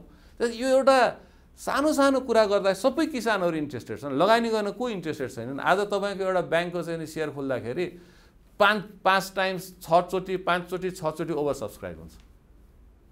तपाईँ संस्थागत रूपमा गरौँ भन्दै हुनुहुन्छ। एकदम संस्थागत र तपाईँको सहभागिता सहभागिताका साथ तपाईँको इन्भेस्टमेन्ट हुनुपर्छ। हरेक विभागले चाहिँ नि इन्भेस्टमेन्ट गर्न पाउनु पऱ्यो। यो जुन राइस मिल खोल्छौँ या यो चाहिँ तपाईँको तपाईँको दाना मिल खोल्छौँ या तेल मिल खोल्छौँ। किनभने धान मकै र भटमासको हामीले क्रप रोटेस क्रप साइकल गऱ्यौँ भने धान धान मिल पनि खुल्ने भयो तेल मिल पनि खुल्ने भयो दाना मिल पनि खुल्ने भयो। तर वीरेन्द्रजी समस्या कहाँ छ भने भर्खरै उखुको विषय जुन चिनीको विषयमा नेपालले रोकिदियो बाहिरबाट जुन आयात गरिन्थ्यो त्यो चिनीलाई रोकिदियो र नेपालको मूल्य अहिले हेर्नुहुन्छ भने चिनीमा पन्चानब्बे रुपियाँ बराबर पुगिसकेको छ। अहिले सरकार यसैमा सबैभन्दा बढी अल्झिरहेछ। अहिले सबैको हेडलाइन हेर्नु भने यसैमा बनिरहेछ। केही पनि रोक्नु पर्दैन। हामीले इन्डियाको रेटसँग कम्पिट गर्ने हो। हामीले हामी भर्सक हाम्रो इम्पोर्ट हुन्छ एक्सपोर्ट हुन्छ कि? किनभने इन्डियाले जुन किसिमको सब्सिडी दिएछ उनीहरूको किसानलाई ल एउटा ट्र्याक्टरमा पचास पर्सेन्ट क्यास सब्सिडी तर एउटा ट्र्याक्टरले त त्यसले त्यो किसानले दुई बिघा मात्र जोत्छ हाम्रो एउटा ट्र्याक्टरले त दुई सय बिघा जोत्छ भनेपछि हाम्रो कस्ट अफ अपरेसन त ड्रास्टिकली घट्यो नि त। एउटा फ्याक्टरमा घट्यो तर त्यस्ता उदाहरण त मसँग के छन् भने तपाईँको चितवनमा रहिरहेको पाउडर दुध बनाउने एउटा फ्याक्ट्री जुन थियो त्यो पनि बाहिरको इन्डियाको बजारसँग कम्पिट गर्न नसकेर बाहिरियो। बन्द छ अहिले त्यो उद्योग। त्यो चाहिँ नि तपाईँको दुधको विषयमा मलाई त्यति थाहा छैन किन म चाहिँ नि चामल र फिडको मात्र कुरा गर्दैछु। चामल र फिड त हामी घर किनभने जुन नेपालीले चामल त्यहाँनिर अहिले खेती गरेर उत्पादन गरिरहेछ धान उत्पा उत्पादन त्यसले त बेच्छ बेच्छ नि। भनेपछि तपाईँ इन्डियाको भन्दा सस्तो नेपालमै बजारमा उत्पादन गरिराख्नु भएको छ। एक- एकदमै। किनभने इन्डियाको उत्पादक त भन्दा हाम्रो उत्पादक त हाई भयो। र एउटा तपाईँको बेसिक कुरा के भने अब किनभने अधिकांश नेपालीले खेतीपाती बुझ्दैनन्। खेतीपाती गर्नु नै भएको छैन भने कसरी बुझ्नुहुन्छ? धान त हामी हरेक वर्ष उत्पादन गर्छौँ र त्यो धान हरेक वर्षै बिक्री गर्नुपर्छ। होइन? त्यो धानको उत्पादक त बढाउने खर्च घटाउने र तपाईँको चाहिँ नि त्यसको भेराइटी चेन्ज गर्ने। मोटोबाट मसिनो जो नेपालीले खाइरहेको छ। गर्ने बित्तिकै त्यहाँ त तपाईँको आमूल परिवर्तन भयो नि बजारमा कुन चाहिँ कुराको डिमान्ड छ त्यो कुरालाई खोज्नु पर्यो। आखिर तपाईँ हामी अहिलेको हाम्रो स्ट्याटिस्टिक्समा के छ हरेक नेपालीले तिन सय ग्राम चामल हरेक दिन खान्छ। त्यो इन्डियाबाट प्रतिस्थापन गर्नु पर्यो। जुन फिड चाहिँ नि हामीले मकै इन्डियाबाट इम्पोर्ट गर्छौँ भटमास इन्डियाबाट इम्पोर्ट गर्छौँ अनि दुई चारवटा मकै के अरे दानाका चाहिँ नि फ्याक्ट्रीहरूले चाहिँ त्यसलाई काट माने एउटा किसिमको चाहिँ कन्ट्रोल गरेर दानाको भाउ बिक्रीमा गइरहेको छ त्यसलाई हामीले चाहिँ नि सरलीकरण गर्ने बित्तिकै अब एउटा तपाईँलाई म उदाहरण दिन्छु। धानको भाउ बिस रुपियाँ मन बिस रुपियाँ किलो बिस रुपियाँ किलो मोटो धानको भाउ। अहिले अब हामी अब हार्भेस्ट गर्दैछ अब दाउनी सुरु हुन्छ। तपाईँको भुसको त्यो तपाईँको ब्रान्डको त्यो तपाईँको के भन्छ त्यसलाई भु भुस भन्छ नि त्यसको दाम पच्चिस रुपियाँ किलो। हुनसक्छ त्यो। त्यो कहाँनिर हामी फसिरहेका छौँ त? धानको थर्टी पर्सेन्ट हो भुस त्यसको दाम चाहिँ नि तिस रुपियाँ किलो ए पच्चिस रुपियाँ किलो। अनि चामलको दाम चालिस रुपियाँ किलो। अनि कहाँनिर चाहिँ हामी मिलिरहेको छैनौँ हाम्रो? र यो खाद्यान्नको सबभन्दा ठुलो खर्च भनेको ट्रान्सपोर्टेसन हो। हाम्रो त जिरो ट्रान्सपोर्टेसन नि। तपाईँको लक्ष्मी बेलबारी नगरपालिकामा उत्पादन भएको चामल एक नम्बर र दुई नम्बर प्रदेशमै सप्लाई गर्दाखेरि पुग्छ। जबकि तपाईँको अहिले आउने इम्पोर्ट कहाँबाट आउँछ? त्यसको ढुवानी खर्च त लाग्यो। त्यसकारण यसमा जुन मैले अघि ब्लु ओसन सिफ्ट भने नि सानो कुरालाई हामीले त्यसमा परिवर्तन गर्ने हो। त्यसलाई आउट अफ द बक्स सोच्ने हो। हामीले यो आठ नौ वर्षदेखि यसमा हामी अनुभव गरेर बसिरहेका छौँ। हामीसँग सबै मोडलहरू तयार छन्। तर यति हुँदा हुँदै पनि त्यसो भए इन्भेस्टरहरू किन आउन तयार छैनन् त? खेतीपातीमा इन्भेस्टरले बुझेकै छैनन्। सबभन्दा ठुलो तपाईँको अबको अपर्च्युनिटी भने खेती हो। माने यो एग्रिकल्चर हो। र सही किसिमले लानु पऱ्यो यसमा सबभन्दा ठुलो समस्या के छ भने यो फ्रेगमेन्टेड ल्यान्ड होल्डिङ यो जुन तपाईँको खण्डीकृत भूस्वामित्व छ त्यसलाई एकीकृत कसरी गर्ने? त्यो सबभन्दा ठुलो समस्या समस्या हो। उनीहरूको त्यो भूस्वामीको चित्त बुझाएर उनीहरूलाई चाहिँ नि कोर्रा ठोकेर होइन। अझ तपाईँले अर्को भाषामा के भन्दै हुन्छ भने किसान किसान मिलेर संस्थागत रूपमा गर्नु पर्यो। एकदम। र त्यसलाई नेतृत्व चाहियो। र किसान किसान मिलेर हामी यसरी गर्दैछौँ भन्यो भने अहिले केही त्यस्ता इन्भेस्टरहरू पनि तयार भइसकेका छन् भन्ने हुन्छ तपाईँ। हामी पन्ध्र पर्सेन्ट लगानी गर्दैछौँ। यो होल प्रोजेक्टमा हामी होइन हामी एक एक प्रकारको उद्यमीहरू। अब शेरदनजीसँग यसमा एकदम लामो डि- डायलग भइरहेको छ। अब तिहारपछि हामी तुरुन्तै यो उहाँलाई प्रेजेन्टेसन गरेर उहाँले कसरी यसलाई नेतृत्व दिनुहुन्छ। किनभने लोकल स्थानीय स्थानीय भने प्रादेशिक सरकारको यसमा नेतृत्व नभइकन चाहिँ नि तपाईँको अगाडि बढ्दैन।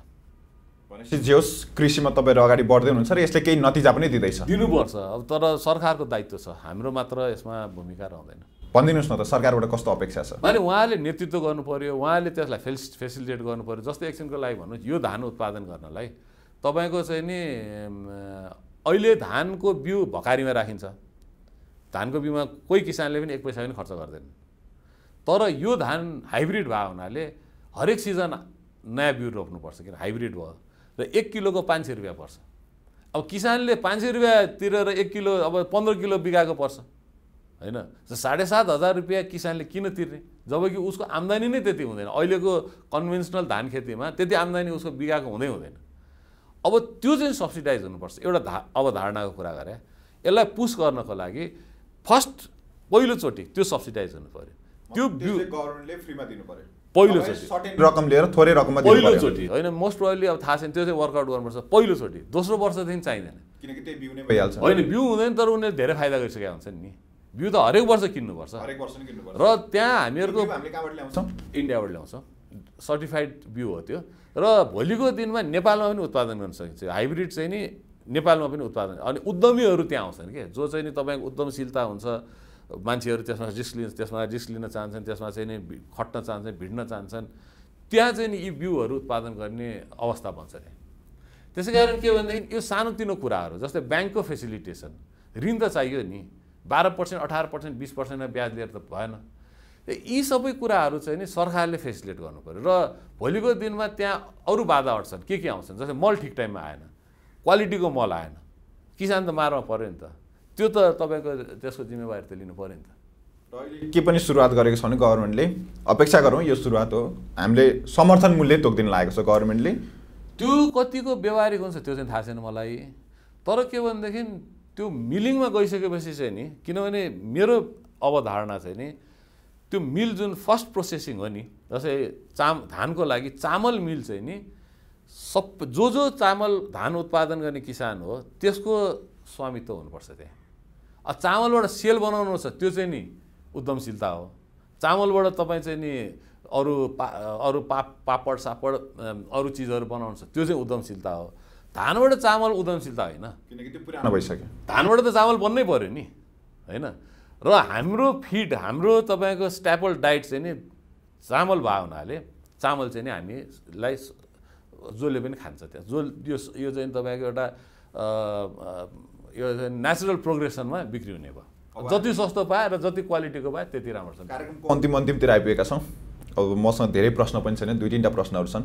पहिलो प्रश्न युवाहरू कृषि सुन्दै पनि तर्सिन्छन्। युवाहरू पैसा कमाउन चाहिँ चाहन्छन्। तपाईँले पैसालाई भन्ने हो भने त यो बाई प्रोडक्ट आफै हुने हो। तपाईँ केही काम गर्नुहुन्छ भने आफसे आफ पैसा त भइ नै हाल्छ भन्नुहुन्छ। तपाईँको भाषामा भन्ने हो भने त। अब त्यस्ता युथहरूलाई कसरी उद्यमशील बन्न सकिन्छ भन्ने कुरा भन्नुहुन्छ। उद्यमशीलता भनेको के रहेछ? उद्यमशीलता भनेको अघि पनि मैले भने जो मान्छे जुन प्रक्रियाबाट काम भइरहेछ त्योभन्दा हटेर त्यो काम गर्न सकिन्छ कि सकिँदैन।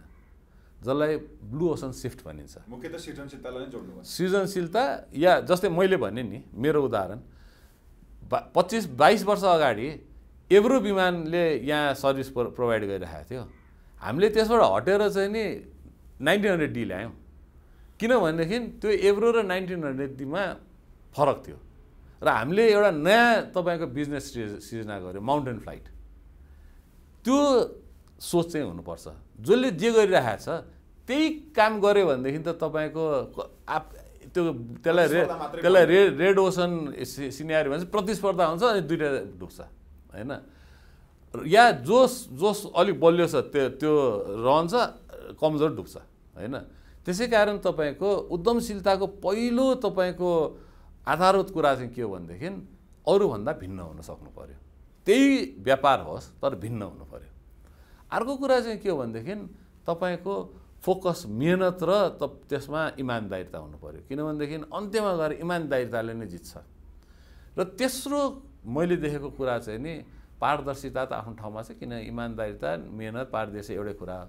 तेस्रो कुरा चाहिँ के भनेदेखि ह्युमन रिसोर्स जुन मैले भनि नै राखेको छु मानव संसाधन तपाईँ एक्लैले सरी एक्लैले गर्ने व्यापार हो त ठिकै छ तर चारजना मान्छेले गर्छन् भने त्यो चारजना चारवटा चार चारवटा लेबरलाई तपाईँले जनशक्तिलाई तपाईँले आदर गर्न सक्नु पऱ्यो तपाईँले त्यसलाई पार्टिसिपेटिभ बनाउन सक्नु पऱ्यो त्यसपछि चाहिँ सफल हुन्छ। एउटा यो भयो। अर्को तपाईँले जुन रेड ओसन र ब्लू ब्लू ओसियनको कुरा गर्नुभयो। अहिले त्यसो भए जुन नयाँ एयरलाइन्सहरू थपिरहेछन् डोमेस्टिकमै के अहिले आइरहेको प्रतिस्पर्धाले अलिकति घाटा पुर्याइरहेछ बुद्ध लगायत अरूलाई एकदम घाटा पुऱ्याइरहेछ। त्यो तपाईँको एयरलाइन्स इन्डस्ट्री त अब तपाईँले नेपालको सिनेरी हेर्नुहोस् इन्डियाको सिनेरी हेर्नुहोस् देशभरिका संसारभरिको सिनेरी हेर्नुहोस् त्यो डिमान्डभन्दा सप्लाई बेसी धेरै मात्रा धेरै हिसाबले बेसी भयो र त्यसको फेयर त्यसको चाहिँ नि भाडा ले खर्च धानेन भने त्यो धेरै दिन चल्दैन। किनभने एयरलाइन्स इन्डस्ट्री यस्तो खालको इन्डस्ट्री हो जसमा अपरेटिङ कस्ट हाई छ र फिक्स्ड कस्ट कम छ। जस्तै होटेल खोल्दाखेरि तपाईँको एउटा होटेल खोल्नुभयो बनाउँदाखेरि पाँच अरब लाग्ला दस अरब लाग्ला तर रनिङ खर्च चाहिँ नि रनिङ एक्सपेन्स चाहिँ नि अपरेटिङ एक्सपेन्स एकदम न्यून हुन्छ। र त्यसको एसेट बिल्डअप हुँदैन। एयरक्राफ्टको एसेट पनि बिल्डअप हुँदैन। किनभने एयरक्राफ्ट जति पुरानो भयो त्यो सकिँदै जान्छ। डेप्रिसिएसन पनि हुन्छ। त्यो तपाईँको एउटा समयपछि त्यसलाई चाहिँ स्क्रप गर्नुपर्छ। लाइफ फिक्स छ। त्यसै कारण एयरलाइन्स इन्डस्ट्री यस्तो इन्डस्ट्री हो जहाँ चाहिँ नि तपाईँको सस्टेनेबल फेयर भयो भनेदेखि ठिक छ अनसस्टेनेबल भयो भनेदेखि करेक्सन हुन्छ। र नेपालको परिस्थिति मेरो बिस वर्ष एक्काइस वर्ष लामो अनुभवमा यो चौ पाँचौँ साइकल चल्दैछ यस्तो खालको। यसलाई भिसियस साइकल भन्छु म। यो पाँचौँ साइकल चल्दैछ। यो पनि करेक्सन हुन्छ। करेक्सन नभइकन उपाय नै छैन। पाँचौँ साइकल भन्नाले यसलाई के नाम दिनुभएको छ होइन साइकल भने जस्तै पहिले निकोन डुब्यो हामी आउने बित्तिकै एक वर्ष दुई वर्ष निकोन बन्द भयो त्यसपछि साङ्ग्रिला बन्द भयो त्यसपछि कस्मिक बन्द भयो त्यसपछि अग्नि बन्द भयो। त्यो यो पाँचौँ साइकल हो। त्यसै कारण यो साइकल हुन्छ। यो यो तपाईँको अनि यो तपाईँको के हुन्छ भनेदेखि अनसस्टेनेबिलिटी हुने बित्तिकै दुई चार वर्ष चल्छ त्यसपछि त्यो बन्द हुनैपर्छ त्यो त्यसको त्यो त्यो रुल अफ ल हो त्यो जुन घाटा बेहोर्दै जान्छ नि त्यो पछाडि त्यो जुन घाटाको एउटा लेभल हुन्छ त्योभन्दा बढी भेटेपछि त्यसलाई बन्द गर्नु अनि पैसा हाल्न नसकेपछि त बन्द हुनै पऱ्यो नि। फेरि अब हामी अन्तिम अन्तिमको राउन्डमा छौँ। तपाईँलाई फेरि पनि म पाँचैजनाको नाम भन्छु। यो चाहिँ अब अलिकति राजनीतितिर जोडिएको छ। यी व्यक्तिहरूमध्ये म तपाईँलाई पाँचजना पूर्व प्रधानमन्त्रीहरूको नाम भन्छु। उहाँहरूमध्ये पर्यटनको क्षेत्रलाई राम्रोसँग सबैभन्दा सहजीकरण तरिकाले बुझ्ने व्यक्ति को हुनुहुन्छ भनिदिनु होला। र उहाँबाट चाहिँ पर्यटनमा अपेक्षा गर्न सकिन्छ भन्ने लाग्छ। माधव कुवा नेपाल पुष्पकमल दाहाल प्रचण्ड केपी शर्मा ओली शेरबहादुर देउबा र डाक्टर बाबुराम भट्टराई। अब अलिक धेरै छोटो छोटो समय मात्र प्रधानमन्त्री हुनुभयो उहाँहरू आफ्नो त्यसले गर्दाखेरि कतिको कन्ट्रिब्युसन भएको छ त्यो चाहिँ म त्यति राम्रोसँग भन्न सक्दिनँ। मेरो विचारमा पर्यटन क्षेत्रलाई सैँतालिस सालको जनआन्दोलनपछि जब हामी तपाईँको बहुदलीय प्रजातन्त्रमा प्रवेश गऱ्यौँ र जुन त्यतिखेरको पोलिसीहरू परिवर्तन भयो सायद सबभन्दा ठुलो इम्प्याक्ट त्यतिखेर पर्या हो। गिरिजाबाबु प्रधानमन्त्री हुनुहुन्थ्यो।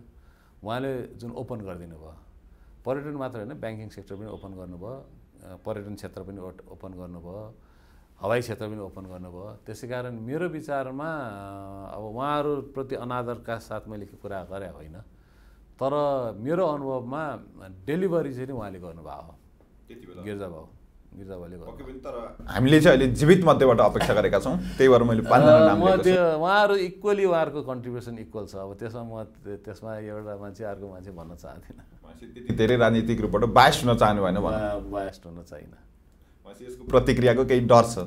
डर छैन किन किन प्रतिक्रिया दिने भन्ने हो? किनभने मेरो सबै अब एक दुईजना अर्को तरिकाले बुझौँ फुल पोटेन्सियल देख्न पाएको छुइनँ। त्यो पनि नभनौँ अब त्यसलाई चाहिँ नि तपाईँको कमेन्ट नगर्नु किनभनेदेखि जुन दिन जुन दिन यस्तो खालको कमेन्ट गर्नुपर्छ त्यो दिन खरो खरो उत्रेर कमेन्ट गरिन्छ। अहिले कमेन्टै गर्नु नपर्ने अवस्थामा किन कमेन्ट गर्ने? ठिक छ त्यसो भए अब अलिकति हामी अन्तिममा जति पनि व्यक्तिहरू हुनुहुन्छ उहाँहरूलाई के सुझाव दिन चाहन्छ? चाहे त्यो तपाईँ कृषिको क्षेत्रबाट होस् चाहे तपाईँ बुद्धलाई यहाँसम्म पुर्याउँदादेखि होस् या युवाहरूलाई उद्यमशीलतामा जोडिनको निम्ति होस् के अनुरोध गर्न चाहनुहुन्छ? केही जानकारी गराउन चाहनुहुन्छ? या पब्लिक कम्पनीमा जाँदै गर्दा केही अनुरोध गर्न चाहनुहुन्छ? इमान्दारिता सबभन्दा ठुलो कुरा हो। किनभने त्यो इमान्दारिता भन्ने कुरा जसलाई डिसिप्लिन पनि भनौँ एउटा तपाईँको त्यो मलाई चाहिँ नि मेरो बुवाले म मैले सम्झेदेखि त्यस त्यो इन्स्टिल गरिबक्स्यो। त्यस विषयमा चाहिँ नि मलाई पुरै त्यस त्यो विषयमा कम्प्रोमाइज भएन। मेरो बुवाले म प्रतिको जुन व्यवहार थियो। त्यस कारण मेरो विचारमा सबभन्दा ठुलो फ्याक्टर चाहिँ इमान्दारिता हो। इमान्दारिताले तपाईँको क्यारेक्टर डेभलप गर्छ। आजको दिनमा अस्तिको साल लास्ट फिजिकल इयरमा तिस करोड रुपियाँ हामीले कर तिर्यौँ। तिस बुद्धयर भने त दुईवटा व्यक्तिको ओनरसिप हो मेरो र मेरो बुवाको। तिस करोड रुपियाँ कर तिर्यौँ। र त्यति कर तिर्दा तिरे पनि असेसमेन्ट गर्छन् कर विभागले। हरेक असेसमेन्टमा तिन चार करोड रुपियाँ तपाईँको एडब्याक गरिदिन्छ कर। तर त्यसले के तपाईँको चाहिँ नि हामीमा एउटा स्ट्रेन्थ क्रिएट गरेको छ? हामीप्रतिको दृष्टिकोण नेपालको कुनै पनि ब्युरोक्रेसीमा एउटा प्रकारको छ। र तपाईँको हामीमा पनि त्यो एउटा किसिमको एउटा कन्फिडेन्स छ। कसैसँग हामीलाई के त्यसमा हामीहरूले के गल्ती नगरे हुनाले हामी हामी अगाडि बढ्न सक्छौँ भन्ने कुरा। र यो इन्टरनेसनल अपरेसन गर्नको लागि हाम्रो स्ट्रेन्थै यही हुनेछ। हाम्रो इमान्दारिता हाम्रो चाहिँ नि हामीले जुन बाई द बुक्स हामीले नियमअनुसार जे काम गऱ्यौँ त्यही नै हाम्रो स्ट्रेन्थ हो। त्यसकारण मेरो विचारमा दीर्घकालीन शक्ति दीर्घकालीन स्ट्रेन्थ भनेको इमान्दारिता नै हो र अन्तिम तपाईँलाई म ठ्याक्कै एउटा शब्द भन्छु तपाईँले दिमागमा नसोचिकन दिमागमा ज्याउँछ ठ्याक्कै भन्नु होला। यो अन्तिम राउन्ड हो हाम्रो। जिन्दगी। जिन्दगी मृत्युसँग जोडिया छ राजनीति। राजनीति समा सोसाइटीसँग जोडिएको हो। प्रेम। प्रेम मेरो श्रीमती हो। सङ्घर्ष। सङ्घर्ष सङ्घर्ष अथक। नाइन्टिन हन्ड्रेड डी जहाज। मेरो जिन्दगीको काया पल्टाउने काया पल्टाए। नेपाल एयरलाइन्स। भने? Nepal airlines corporation? हाम्रो ऋण जुन ल्याएछ त्यो चाहिँ नि तिरियोस्। नेप के अरे हाम्रो हाम्रो ऋण भनेको मतलब सञ्चय कोष र लगानी कोषको जुन ऋण छ त्यो चाहिँ नि ठिकसँग तिरियोस्। सुरेन्द्र बहादुर बस्नेत। मेरो अभिभावक मात्र होइन मेरो गुरु पनि हो। नेतृत्व। नेतृत्व समय सा- सृजनशीलतामा भर पर्छ। जबसम्म सृजन सृजनशीलता रहन्छ तबसम्म नेतृत्वको बागडोर समात्नुपर्छ यहाँसम्म आइदिनु भयो आफ्नो अमूल्य समय दिइदिनु भयो र केही प्रेरक आफ्नो भनाइहरूका साथ हामीसँग संवाद गरिदिनु भयो। त्यसको निम्ति हार्दिक हार्दिक धन्यवाद वीरेन्द्रजी। धन्यवाद। आदरणीय दर्शकवृन्द यहाँलाई पनि धेरै धेरै धन्यवाद। मलाई लाग्छ आजको श्रृङ्खला यहाँहरूलाई धेरै नै मन पर्यो र उहाँले जुन बुद्ध एयरलाइन्ससँग जोडिएर आफ्ना जे जति अनुभवहरू थिए त्यसलाई बाँडिदिनु भयो। हामी अर्को हप्ता यही समयमा अर्को फरक पात्रका साथ उपस्थित हुने बाचा गर्दै आजको श्रृङ्खलाबाट भने बिदा माग्दछु। नमस्कार।